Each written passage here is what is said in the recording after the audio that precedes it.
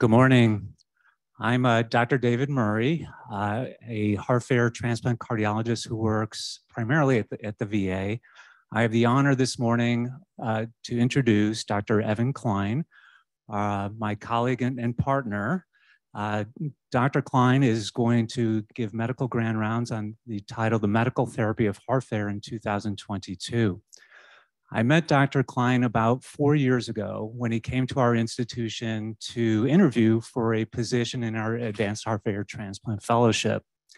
Um, he made quite the impression on, on myself, my colleagues. Everyone thought the, the absolute world of, of Dr. Klein. And in fact, we ranked him number one on our match list.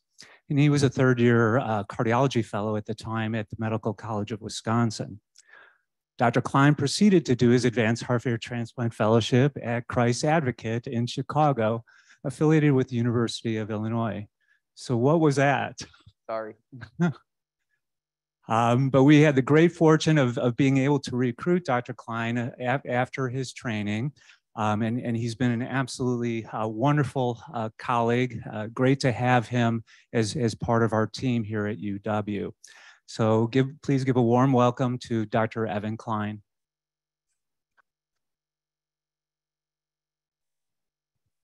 Thank you, Dr. Murray, for that uh, warm introduction.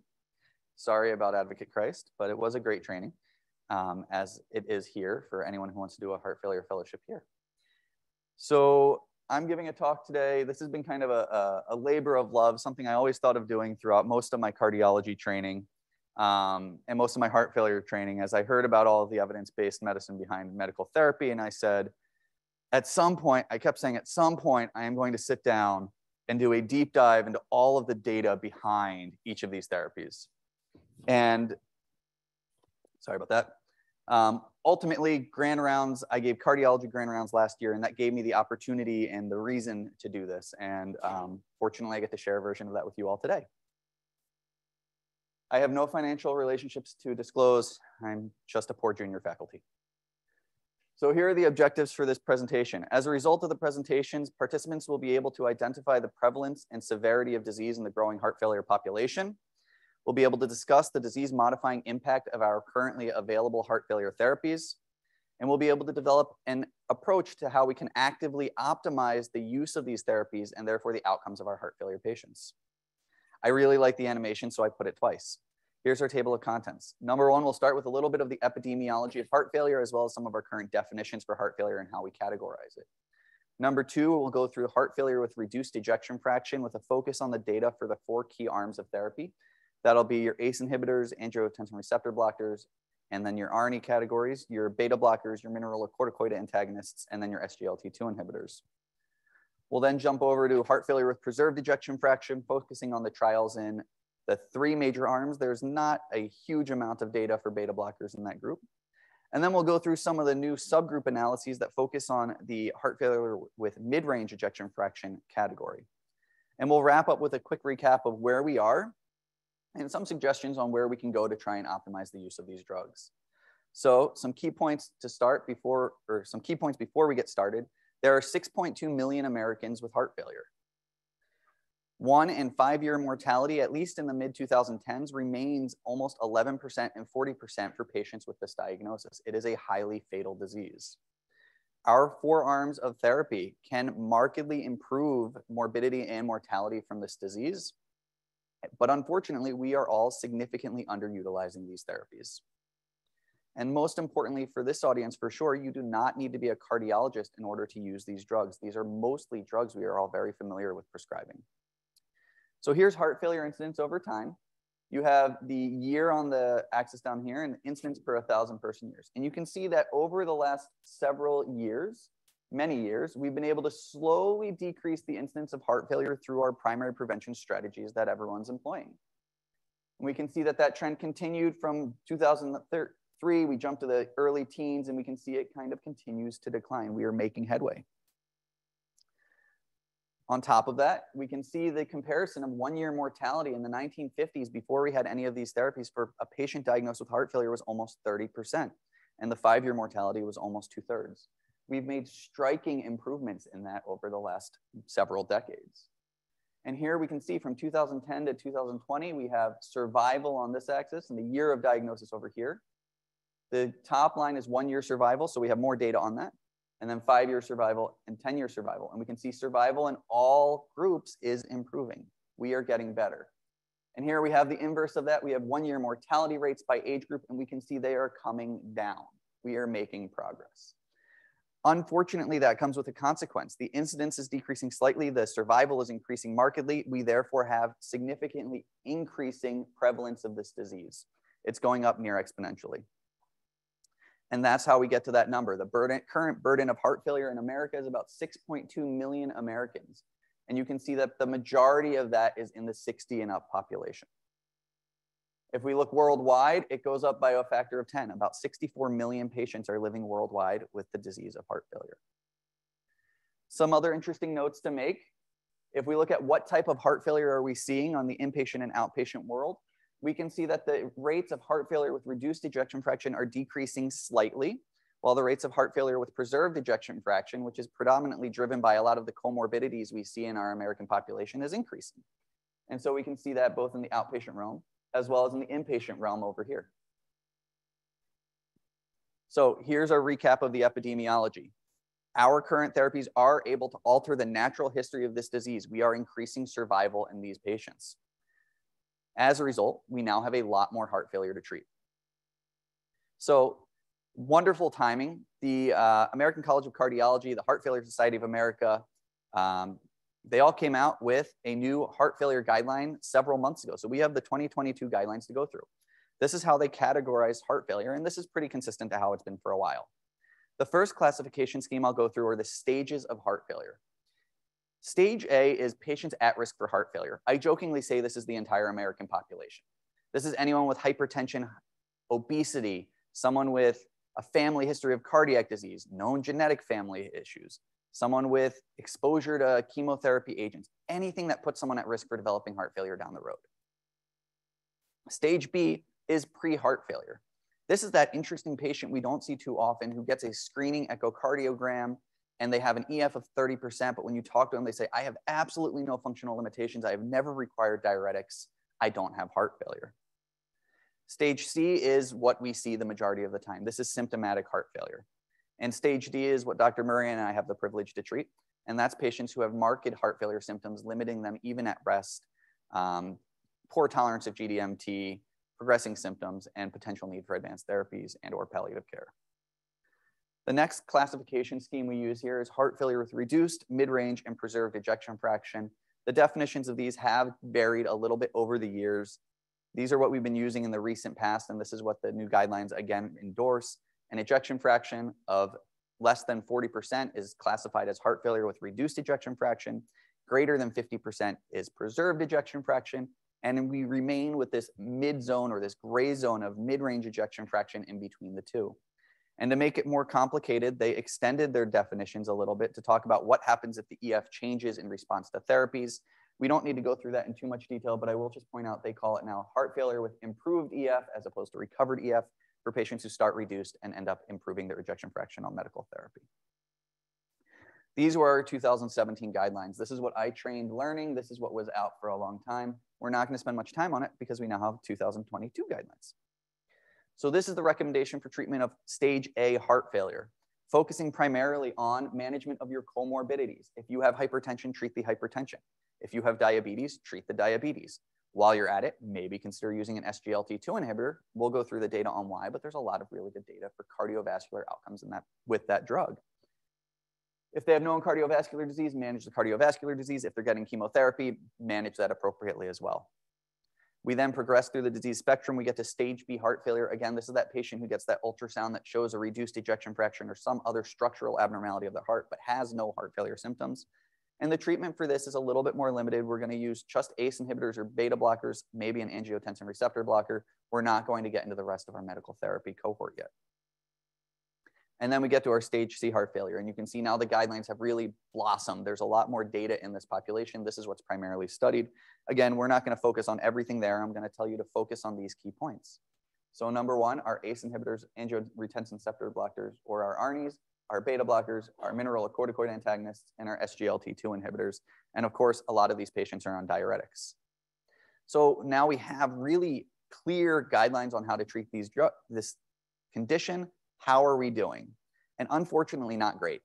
So this was done in 2018. This is the CHAMP HF registry. This was done on outpatients with heart failure. They had an ejection fraction of less than 40%.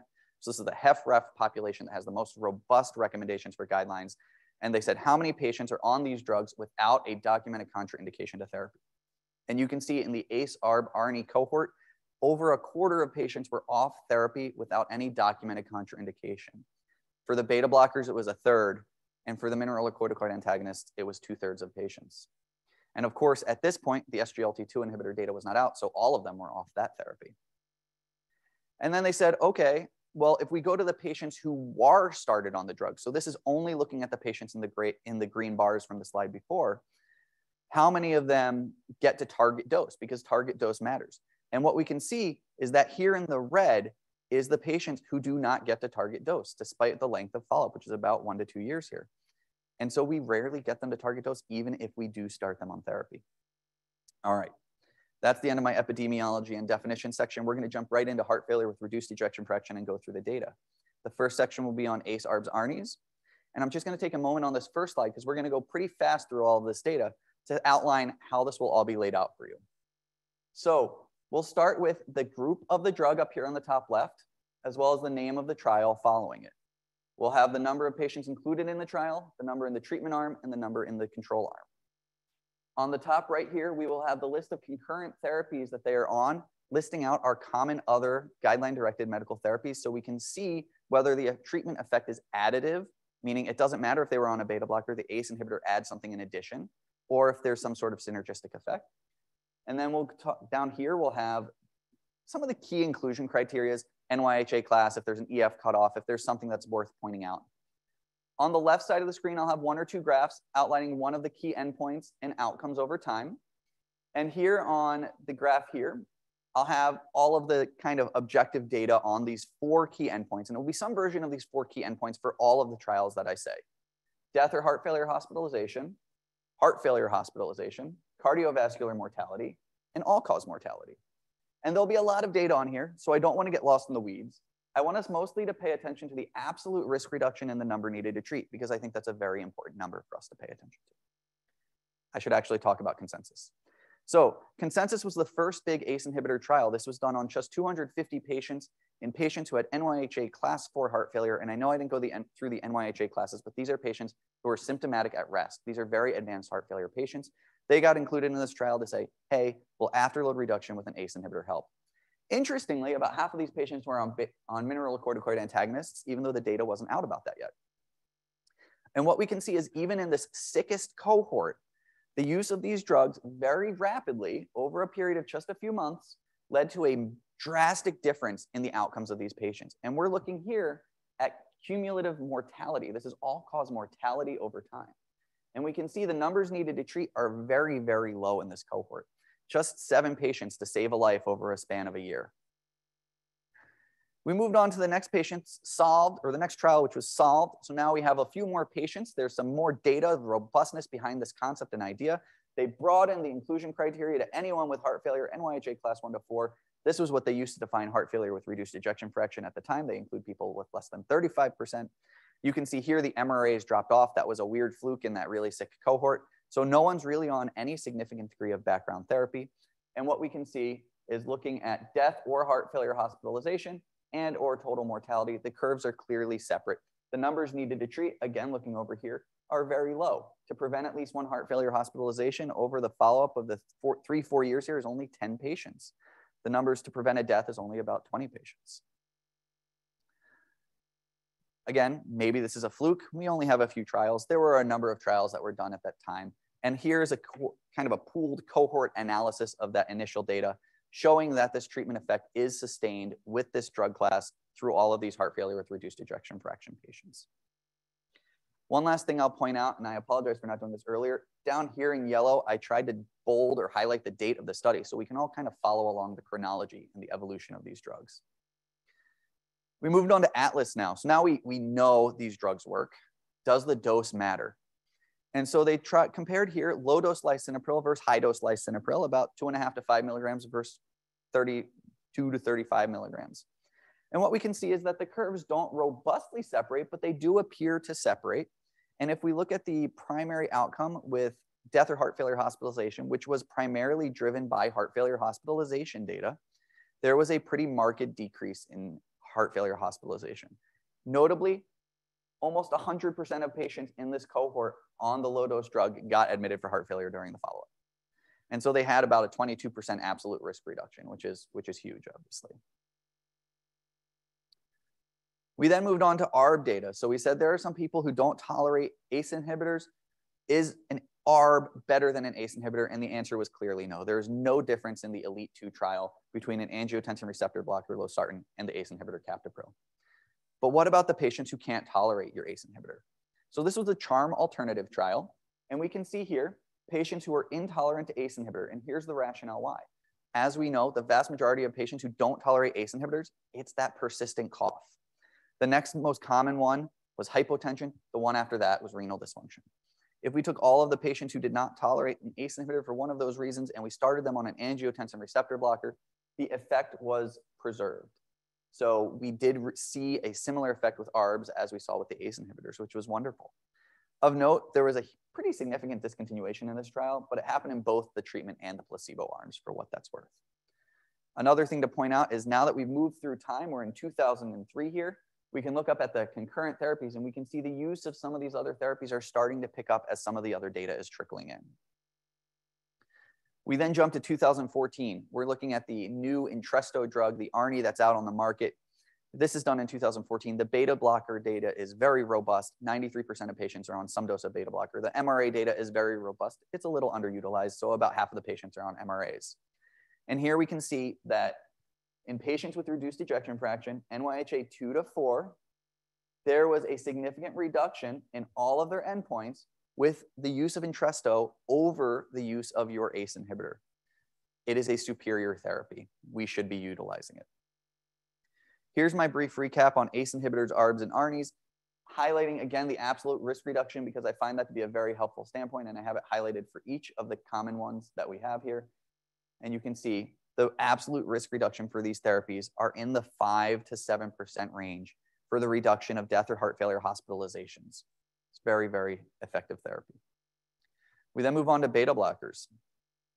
The first beta blocker trial done in about 1996, this was studying carvedilol versus placebo. We can see in 1996 our ACE inhibitor data is robust.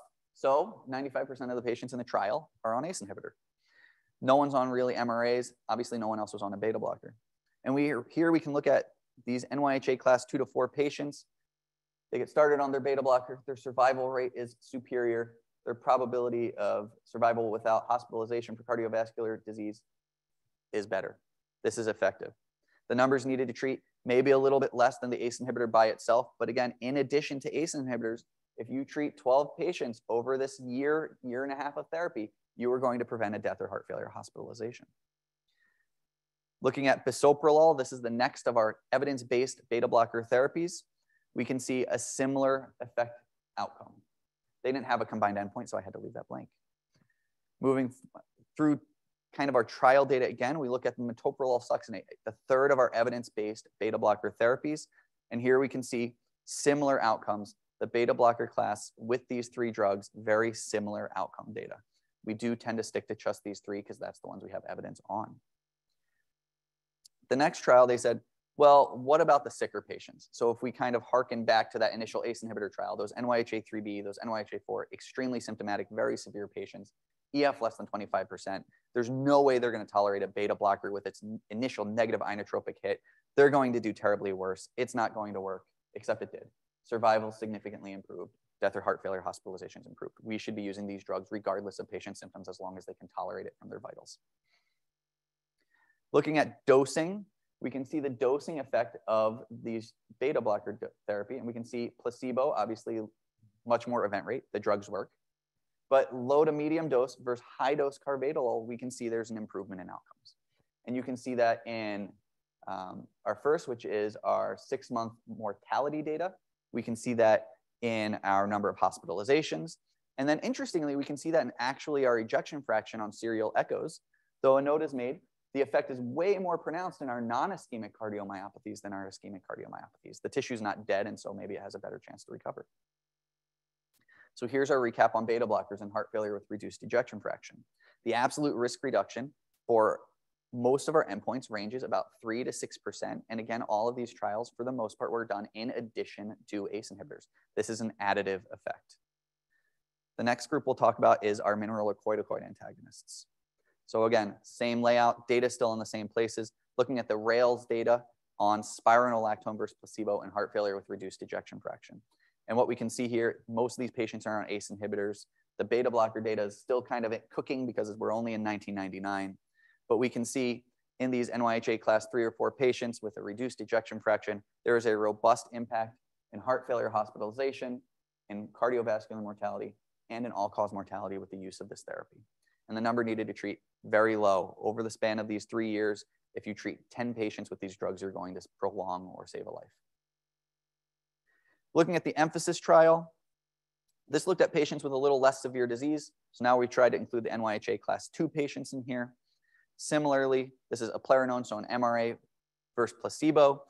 At this point, we're in 2011. That beta blocker data is out. So we're up to 87% on a beta blocker plus the 90% on an ACE inhibitor.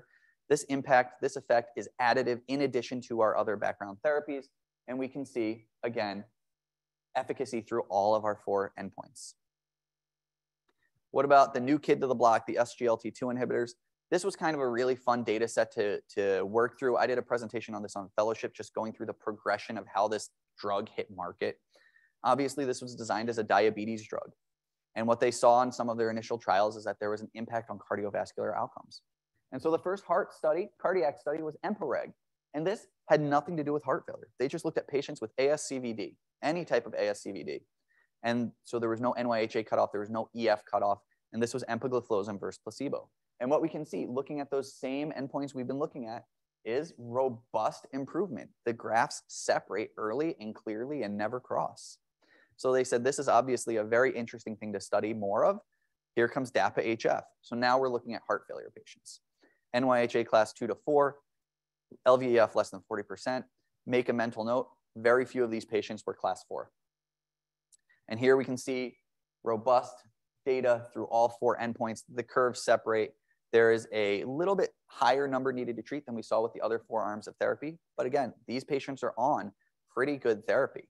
90 plus percent on an ACE inhibitor, ARB or ARNI, 90 plus percent on a beta blocker, and over almost three quarters are already on an MRA as well. This is an additive bonus impact.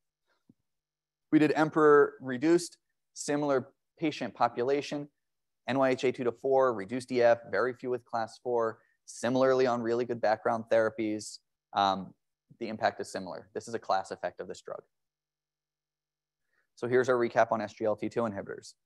There's about a 1 to 3% reduction, absolute risk reduction in our cardiovascular endpoints we've talked about with this therapy, in addition to the other three arms of therapy.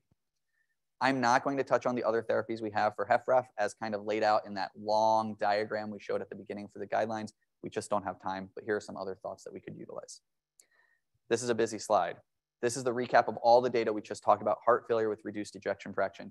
Again, highlighting absolute risk reductions for these therapies in each of these three major categories with our general classes of drugs and or our evidence-based therapies.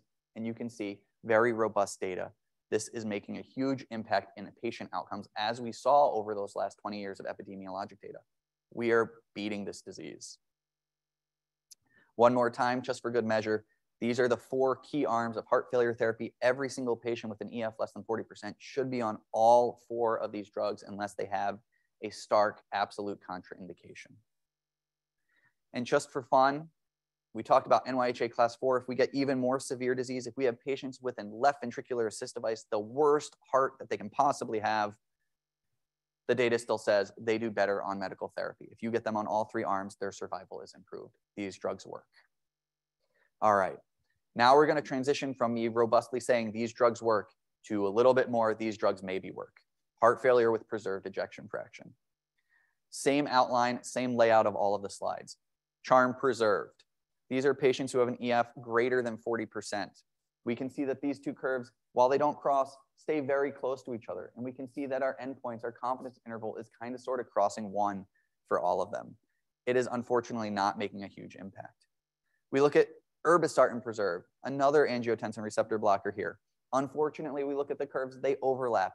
The angiotensin receptor blockers do not have a huge impact on outcomes in heart failure with preserved EF. The ARB ARNI looking at Paragon, saying, well, Entresto is better than just an ARB. Will this work? And here we say, still no.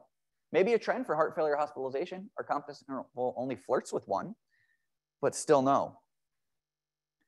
How about TopCat? Looking at spironolactone, the MRAs in heart failure with preserved ejection fraction. And if anyone's ever looked into this trial, we know this is a very flawed trial, and we'll get into that in the next slide. But here we have really no impact except for maybe heart failure hospitalization. The curves don't separate great. Then came some really interesting post hoc analysis. They call this the TopCat regional analysis. I have no idea why they thought to do this, but they did. And what they found was that if you separate out the Americas from the Eastern European countries who were included in this trial data, we start to see fairly robust difference in our outcomes. Our p-value is 0.026. Our absolute risk reduction is almost 4 or 5% maybe there is some impact of these drugs. So again, how can we explain this? I don't know for sure. This is very much post hoc data, but the authors who did this regional analysis suggested when they looked at it, the Eastern European blocks primarily relied on one heart failure hospitalization as the inclusion criteria for this study, while the Americas had a more balanced representation between that and a BNP cutoff. And so they said, I wonder if the BNP cutoff is what leads to that change in outcome. And so they did yet another sub-analysis. And they said, what if we look at just the BNP criteria versus the prior heart failure hospitalization? And we can see in the patients who had that were included just because they had that one heart failure hospitalization, no effect. These numbers are identical. If we look at the patients who are included by BNP cutoff, we can see there's a pretty robust relative and absolute risk reduction across these groups. And the numbers needed to treat are relatively low. Perhaps MRAs do help in patients with true HFpEF with a BNP criteria. And just for fun, these are the BNP criteria they used, a BNP greater than 100 or an NT-BNP greater than 360. Post hoc data, but because of this, I do treat all of my HFpEF patients with MRAs if I think they actually have the disease. Then came our golden child, the first trial to have robust evidence-based data for the treatment of HFpEF. This was Emperor Preserve. This came out just last year in 2021. Patients with an EF greater than 40%, NYHA class two to four symptoms, they're on, interestingly, a lot of these other therapies because of their other comorbidities, not because of HFpEF. But what we see here is heart failure hospitalization or death, mostly driven by heart failure hospitalization, a pretty significant endpoint. And there we can see, right, the cardiovascular death endpoint, not really robust. Those curves are right on top of each other. But if we look at first hospitalization for heart failure, those curves separate and they separate very, very early. Hot off the presses, DAPA-HF or Deliver HF, um, studying dapagliflozin versus placebo. Again, previously we saw that this was a class effect of the SGLT2 inhibitors. We continue to see that it is a class effect of these drugs. DAPA, dapagliflozin led to the same outcomes. They met primary endpoint, primarily driven by heart failure hospitalization, reduction in that group. So here come our 2022 guidelines. They're going to incorporate all of this data but we're going to see a lot less green and a lot more class two indications. The highest of the indications is going to be the SGLT2 inhibitors. It's the only one that has a really good, robust data. And here are the, the, the verbiage that they use, and I'm just going to highlight. The SGLT2 inhibitors, because they met their primary endpoint, may lead to a reduction in hospitalization or death. The other ones that they mention here, looking at mineralocorticoid antagonists, mostly driven by heart failure hospitalization, consideration for maybe ARB or ARNI, heart failure hospitalization only, but very kind of weak data. All right, here come another group of subgroup analysis. And this was a fun series of papers that came out over about 2018 to 2020 that they called the Across the Spectrum studies. And so I applied that to kind of all the studies here that looked at it. And so they said, what if we take a look at all of the data, all of the trials that we have on beta blockers and heart failure patients, and we recategorize patients based on their EF. And they said, here are less than 20%, all cause mortality, cardiovascular death, heart failure hospitalization. They all meet endpoint. What about 20 to 25%? They all meet endpoint. 26 to 35, they all meet endpoint. Up to 40%, they all meet endpoint. Beta blockers, around that 40 to 50%, we start to see some degree of loss of their efficacy. These drugs are better in reduced ejection fraction populations. And we can see in the preserved ejection fraction, the greater than 50%, the beta blockers probably don't have much of a role. What about ARBs? I put all this data here so we can look at the confidence intervals again and see how they work in the reduced ejection fraction population. Here they have that mid-range, again, showing preserved efficacy through a lot of those mid-range patients. But I find the graphs to be most helpful. So that blue bar that you're seeing there is that 40 to 50% ejection fraction. You can see that the curves and the confidence intervals all stay below one through the mid-range ejection fraction. Use of ARB is effective in mid-range ejection fraction. What about ARNI? Again, very overwhelming slide, but we're going to go to the graph. Looking at the same concept, reanalysis of all of these patients based on the EF. And we can see again, they seem to have preserved efficacy of these drugs through at least 50%. And if we look here, just another way to look at the same graph, you can see that perhaps that efficacy holds on to about 55%. And now if we really want to play with the data, that effect seems to be preserved even longer in the female population as opposed to the male population, with the effect maybe protected up until an EF of about 60 to 65%. What about mineralocorticoid antagonists? Again, lots of data. Looking at them, you can see that seems to cross around 50 to 55% for at least our primary outcome, which as we talked about, was primarily driven by heart failure hospitalizations, not the mortality as much. SGLT2 inhibitors, same thing. The mid-range ejection fraction population should be treated with the same exact drugs as our preserved, as our reduced ejection fraction. So recap of the across the spectrum data, which I personally love, we can see that the use of these therapies are preserved up until I hit these red boxes. And it's going to flash there because interestingly, the SGLT2 data, its preserved effect lasts until about an EF of about 65%. So we can use this in patients who even have normal, normal, while the other ones probably around 50 to 55%, we start to see a loss of that efficacy. Guidelines for heart failure with mid-range ejection fraction, very similar to preserved, except you can see that they add, since they met primary endpoints here, a reduction in hospitalization and mortality through most of the recommendations. All right, all of the data. That was really quick, I'm sorry. So how are we doing? I'm going to harken back to CHAMP-HF. A significant population of our patients who are eligible for heart failure reduced ejection fraction are not being treated with appropriately disease modifying therapies. And I can only imagine the HFpEF population utilization is worse. I don't have any data for that though. If so, do these patients reach goals? So in those green bars, the patients who are actually started on therapy, do they meet their efficacy? Do they get, get titrated? And as we talked about before, the answer is no. And that begs the question, why? So again, I'm having fun with my animations. Therapeutic inertia seems to be the biggest culprit here. This data also was kind of uh, post-analysis of that CHAMP-HF data. And what it shows us is here in red are patients who are on a stable dose of sub-target therapy, so not at target dose, but on it, and it never gets titrated through the 12 months of follow-up. In the green, they're on target dose, and it never gets titrated during follow-up. And then the yellow and blue are patients who do get some sort of dose adjustment, whether an increase, decrease, discontinuation, et cetera, through 12 months. And what we can see in all four classes, the issue is that we're not adjusting these therapies. They're not getting increased, they're not getting decreased, they're not getting stopped. They get started and they get parked. Therapeutic inertia. So, can we get better? Of course, the answer is yes. We all like to practice evidence based medicine, and we are going to continue using this data to improve our patient outcomes. So this was the Improve HF study done in 2010.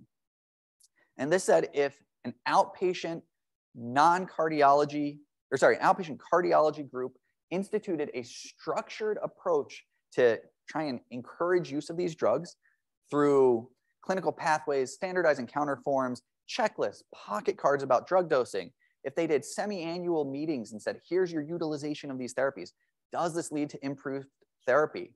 And the answer is yes. It's not patients who are limiting the use of these drugs, it's us.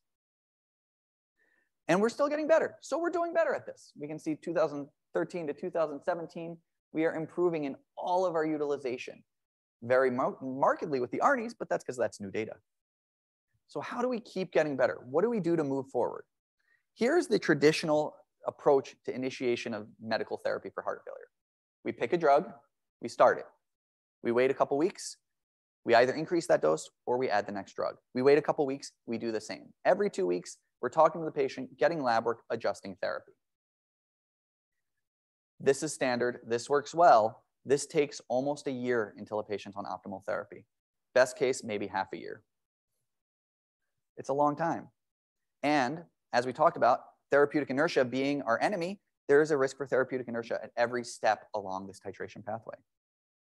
And to talk back to the data, time matters, right? These curves separate early and they stay separated. If we're waiting a year to get some of these patients on therapy, we are doing them a disservice.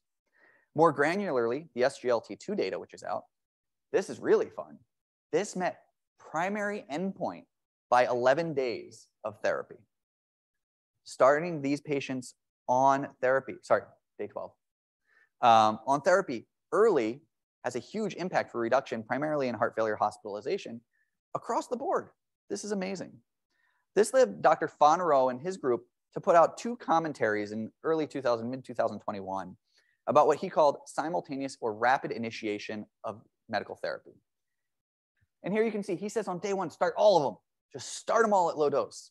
I don't think many people are doing that. We'll show the next slide, which I think is a little bit more realistic about how to start the first four therapies um, within a quick period. And then he says, instead of waiting two weeks, titrate weekly. Try and really get these drugs up as quickly as we can and as aggressively as we can.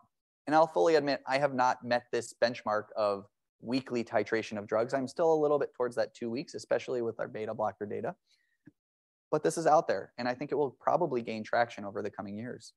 Here's his read his second one, which came out a little bit later because I think he probably got a lot of pushback of saying start all drugs on the same day.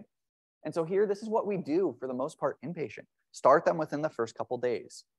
Start a little bit of ACE inhibitor. The next day, start some MRA. The next day, start SGLT2 inhibitors. Once they're kind of euvolemic, get them on their beta blockers. And then the same thing he proposed before, titrate weekly with the goal of getting them on target doses or maximal tolerated doses within about a month and a half to two months of therapy. Importantly, he said, focus on um, beta blocker titration. If we look back, think back to the data we talked about, right? The impact of dose was most prominent with the beta blockers as opposed to the ACE inhibitors or the MRAs. Um, and the SGLT2 inhibitors are kind of an on-off. There's only really one dose we use. Um, and the cumulative benefits are within a month. So let's get them on therapy quick. So here, what are some novel outpatient strategies we can use for our patients? So this is my personal approach. Every time I see a heart failure patient, in the hospital, not in the hospital, it doesn't matter. The first question I ask, what can I optimize today? It's not what's their fluid status, it's not how are they feeling. In the back of my mind, I'm always thinking, is there one of these four drugs I can increase the dose of today, or are they not on a therapy and can I start it today? If I go in thinking that, I always make some sort of titration. I'm fighting that therapeutic inertia. The next thing that a lot of places do is standardize your clinic's approach to medical therapy titration. This is very standard medications. We have are all very familiar with their use. We can titrate them. This can be doctor driven, nurse practitioner driven, pharmacist driven. I've even seen nurse driven clinics. These are very easily, predictably done drugs. We can use telemedicine. I don't need to see the patient every time I adjust these therapies. Have your EMRs give you a cue or a flag saying, hey, did you think to increase lisinopril today? Have structured educational opportunities to learn about the impact of these drugs and to spread that information to the rest of your staff who's going to be doing or involved in possible titration. Give pocket cards to providers talking about what are the initial doses. If I want to start spironolactone, what do I start at? I want to start enalapril, what do I start at? Talk about the indications. When would you titrate? When would you not titrate? Have this very formatted for our patients or our providers. Provide patient education materials. I love this one. Empower your patients.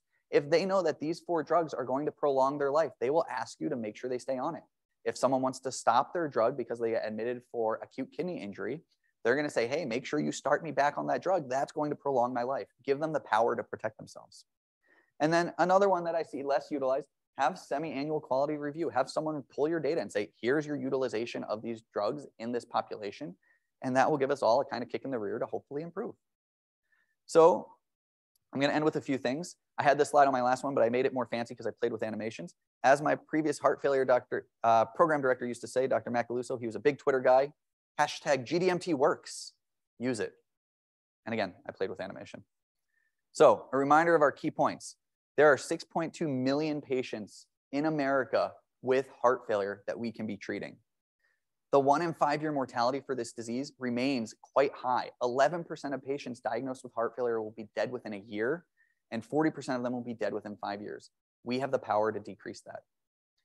Our current four arms of GDMT are, can markedly improve outcomes in these patients. We have very robust data to say that. And we are all, unfortunately, underutilizing these life prolonging therapies in our patients. And then the final point, like I said, for this group, certainly you do not need to be a cardiologist to increase Entresto, to add spironolactone. We are all familiar with the use of these drugs, and we can all make an impact. And I'll just leave this on as I start to answer questions with the HFrEF population, because that's where most of our beautiful, robust data is, with the absolute risk reduction and the numbers needed to treat to prevent these outcomes. And we'll open it up to questions.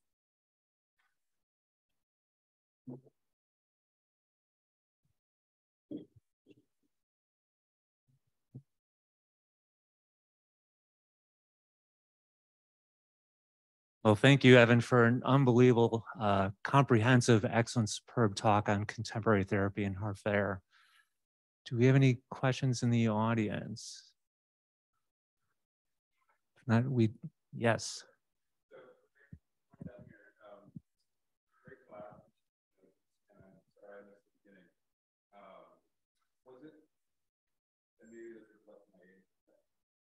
was it surprising that the beta blockers work as well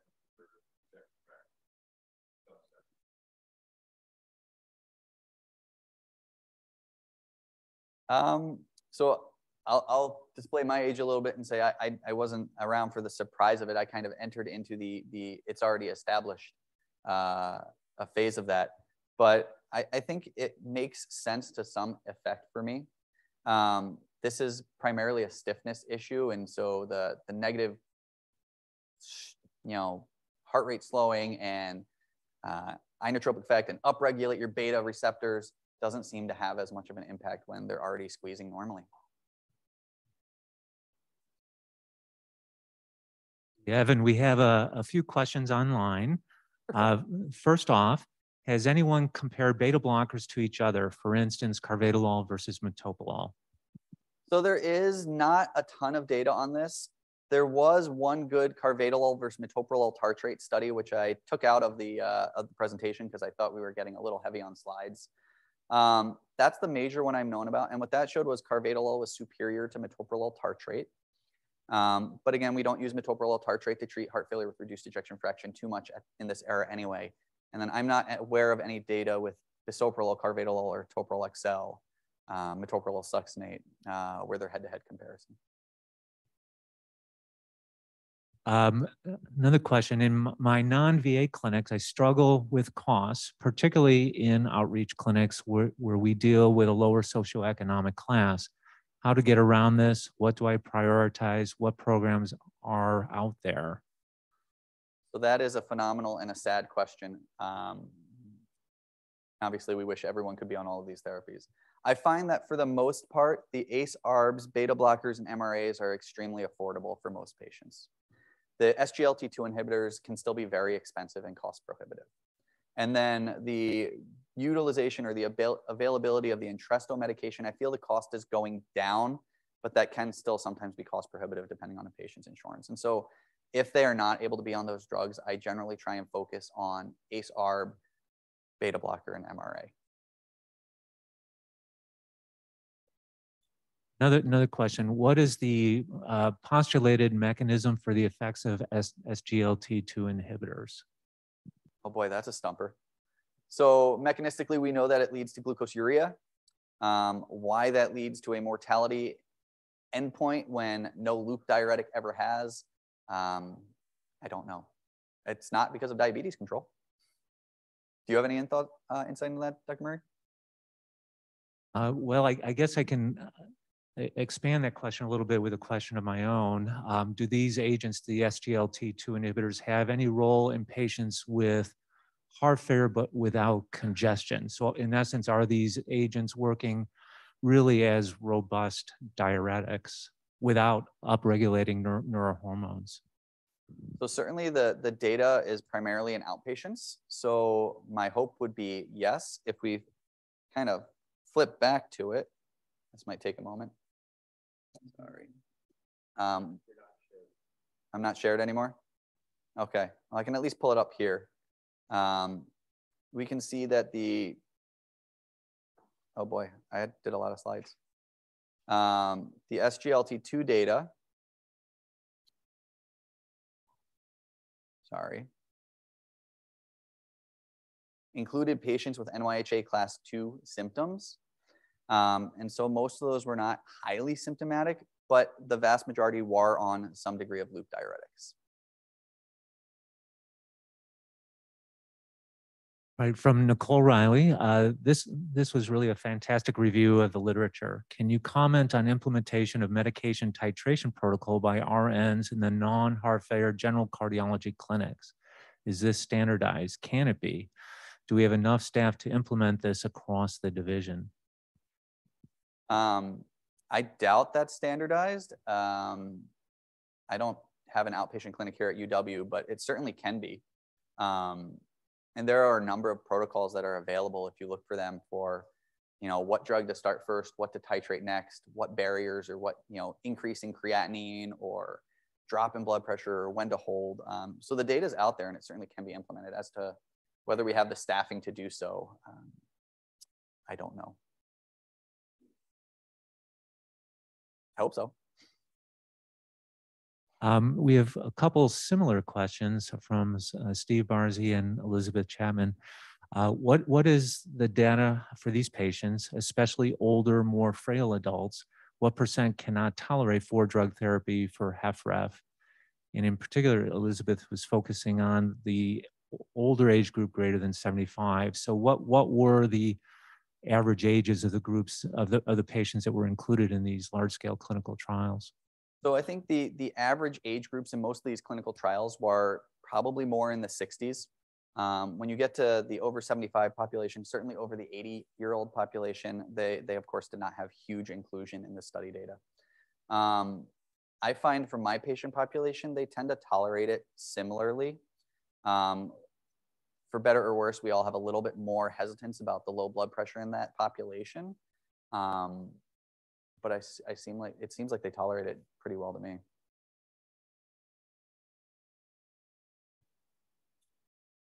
Uh, my understanding is that the SGLT2 inhibitors are avoided in patients with low kidney function. Is this because it is dangerous if low GFR, or simply because it's less effectively administered uh, to site of action?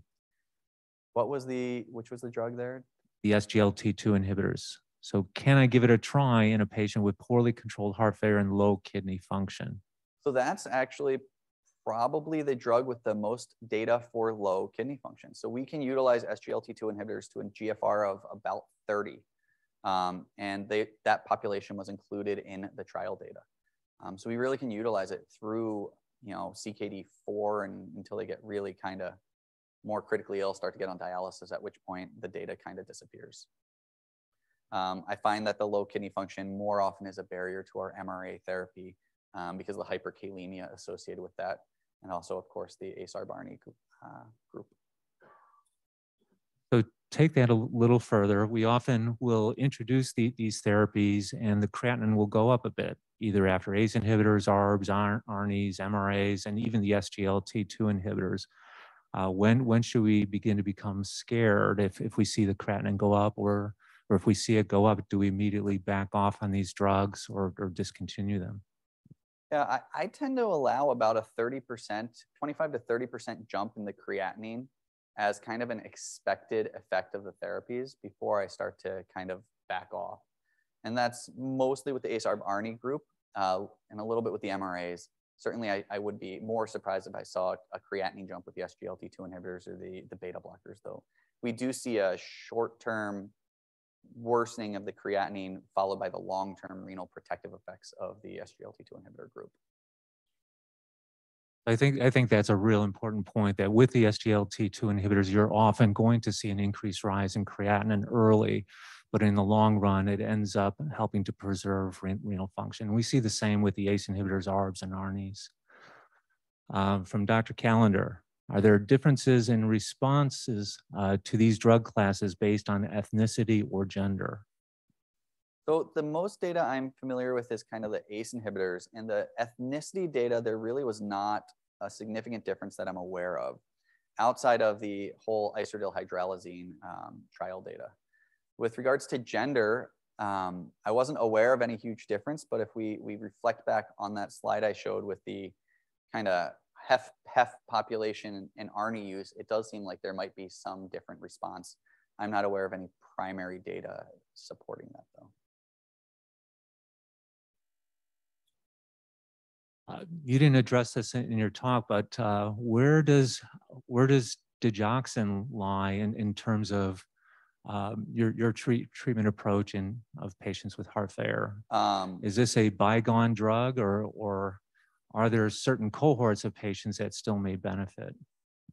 Uh, so that's uh, that's funny. So in the talk I gave last year, I actually had up in those top four categories on the top right, I had the utilization of digoxin to show the change in digoxin use over time. I took that out of, of this one. Um, and what we see is the utilization of digoxin seems to have declined pretty significantly um, as the addition of these other therapies have come in. I personally don't ever really start digoxin for heart failure as just a drug for heart failure. I do, however, utilize it in some of our AFib patients with heart failure because I find it kind of serves a dual purpose there. Um, and there have been a number of DIG trials over the last decade or so, um, some with positive effects, some with not meeting endpoints. Um, so the data is a little split.